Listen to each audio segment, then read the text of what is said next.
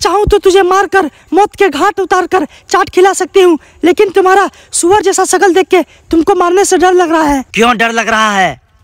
छोटी बच्ची हो क्या? सर मेरा बेटा को सिर्फ़ एक बार क्लास में ले लीजिए आगे से वो क्लास में नहीं पा देगा सॉरी मैं नहीं ले सकता। प्लीज़ सर प्लीज़ एक बार ले लीजिए। बोला ना नहीं लेंगे समझ में नहीं आता। छोटी बच्ची हो क्या? ए साले मेरा आईपीएल का वर्ल्ड कप नीचे रख तू जानता नहीं है मैं कौन हूँ? छोटी बच्ची हो क्या? क्या हुआ था दही छेना? मेरा पेंसिल से अपना होमवर्क बना रहा था। इसलिए इसका उंगली काट दिए। इतनी छोटी बात पे कोई उंगली काटता है? छोटी बच्ची हो क्या?